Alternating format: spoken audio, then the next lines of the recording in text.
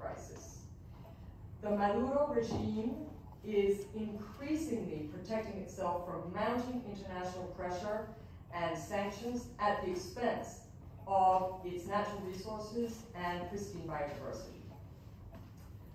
Um, unfortunately, without a negotiated solution or change in government, um, the regime will likely continue to irreversibly damage the environment, silence environmental uh, activists and indigenous communities, and continue to relinquish Venezuelan national territory and sovereignty to Colombian guerrilla groups and other foreign state and non-state actors.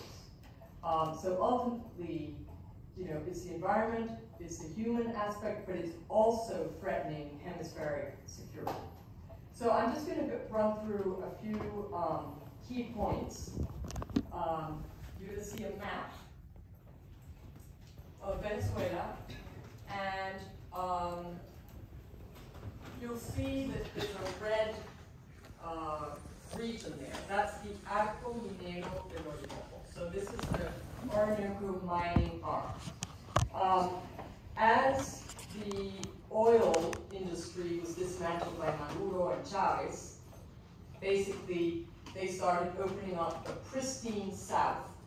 So everything you see in green is southern Venezuela, south of the Orinoco, and it's 80% of which is protected areas. So Venezuela was on the forefront of conservation in the 20th century, and that came to a crashing stop with the um, arrival of Hugo Chavez in power. So illegal uh, land grabbing, deforestation, and out of control gold rush uh, in protected rainforest areas have created a perfect storm combining environmental degradation with a humanitarian crisis. And massive sediment loads um, from mining are decimating our reservoirs and hydropower generation capacity while mercury from gold extraction policies, uh, sorry, gold extraction are polluting rivers and sickening tens of thousands of indigenous people and minors and non-indigenous people. um, SOS Orinoco was the first to start mine, um, mapping this uh, environmental catastrophe in 2018. Um, I started asking why nobody was making, asking any questions about illegal mines inside Canaima World Heritage Site, and the answer was, we live in fear. If we denounce this, this is for Venezuelan academics and experts, if we denounce it, we'll be killed or we'll be thrown into, prison.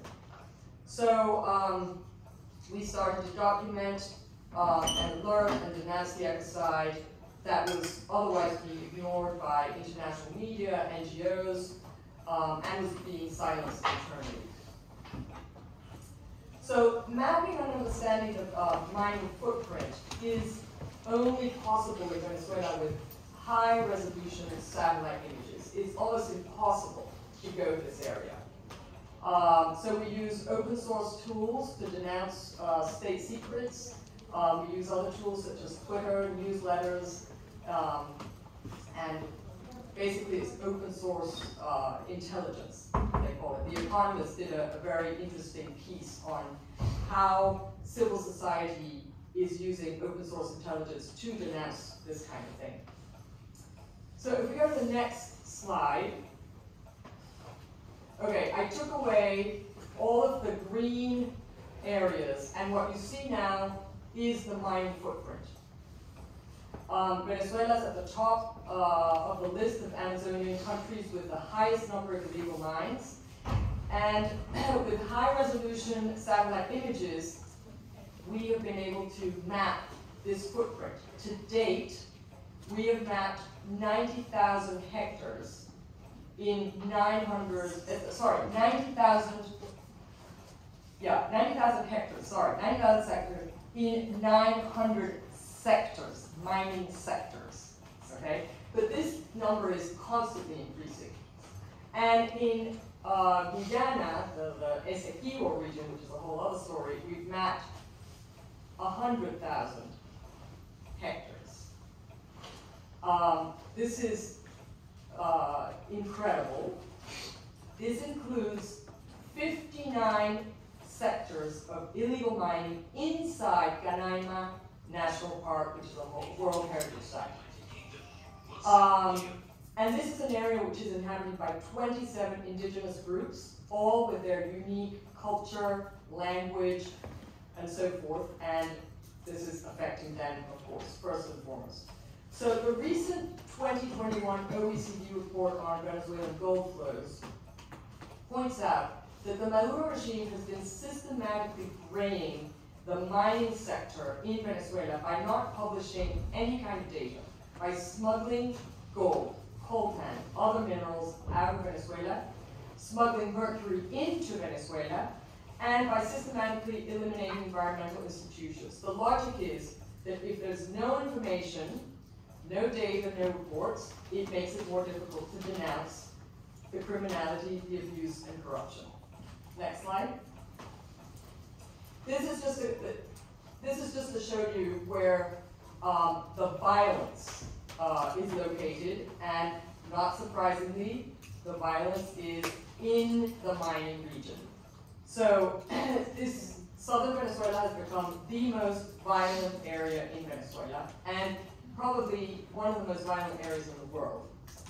Mining sites are exploited by state and non-state groups, including Colombian National Liberation Army, the ELN, FARC dissident, who are promoting violence, slave labor, child labor, prostitution, disintegration of indigenous social structures, and so on. Um, let's go to the next slide. I'm now going to focus on three emblematic areas. The first is Canaima with Angel Falls, the highest waterfall in the world. Um, this is where we started with SOS Orinoco and reporting to UNESCO. Um, so far, next slide, this week marks the 60th anniversary of, oh wait, I think it's, know. The 60th anniversary of that one. That shows the mining footprint of Canaima, the, the mines inside, so 59 sectors inside and on the buffer of the World Heritage Site.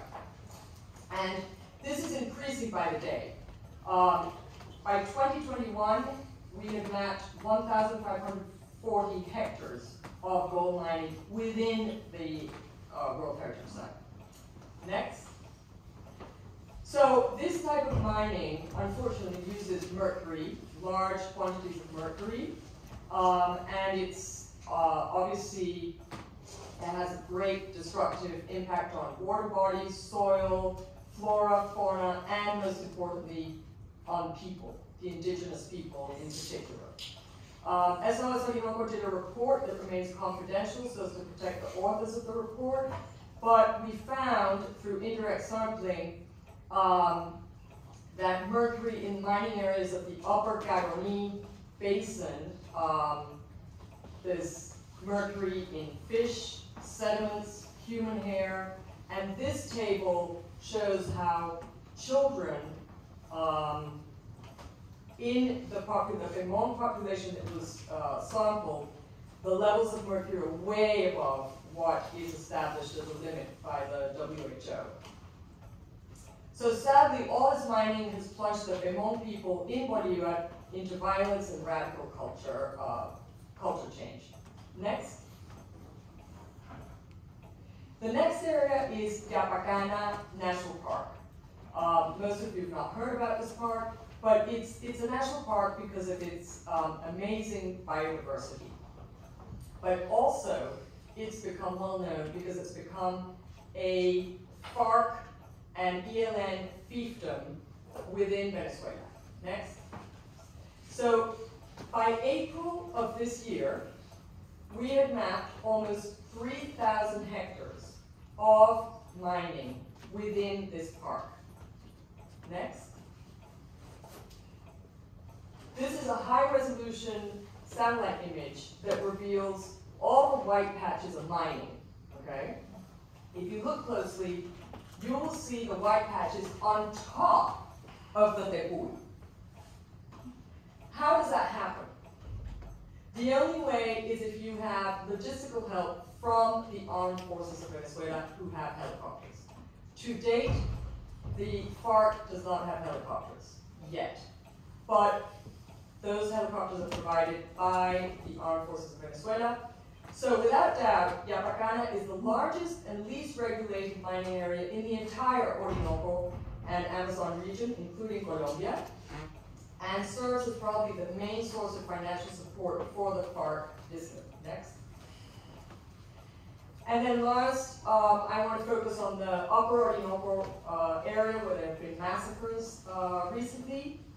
Um, according to reports by Yanomami and Yequana in, the, in Brazil in 2020, 20, uh, 21, 22, has been the worst year with regard to the invasion of the garimpeiros, so the illegal Brazilian miners, in Yanomami lands, and of course we're feeling this on the Venezuelan side too. The Venezuelan state has pretty much abandoned uh, the region. There's no health, there's no safety, and basically the armed forces have partnered with the garimpeiros in order to do illegal gold mining in these pristine areas. This is a um, uh, uh, biosphere reserve, um, and it's the land, ancestral lands of the Yanomami. Next.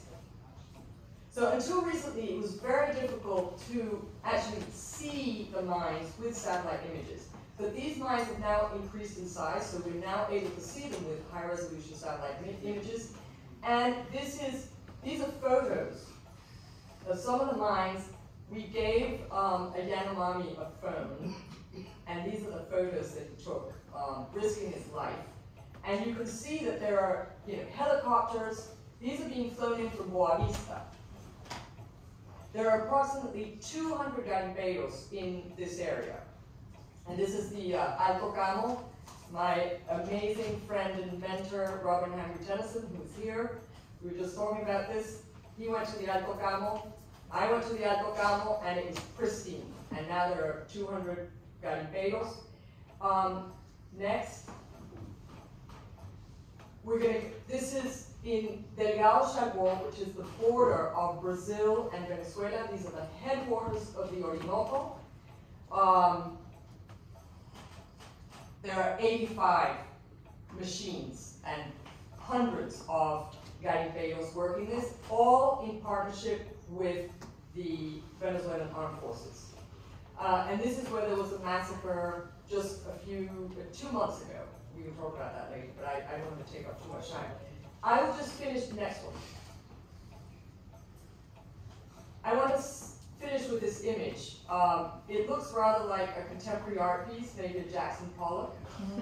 um, it's not.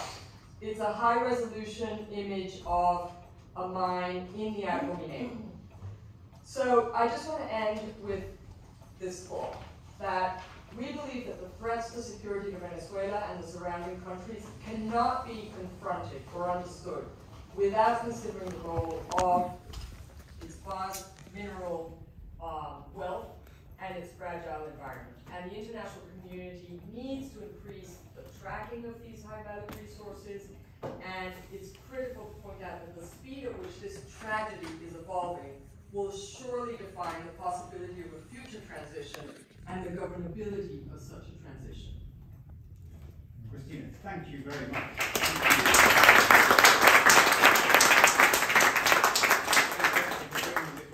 Thank you for the, for the work you're doing, the incredibly important work doing on the ground, uh, exposing uh, what's happening and letting the sunlight in. It's nice to see colleagues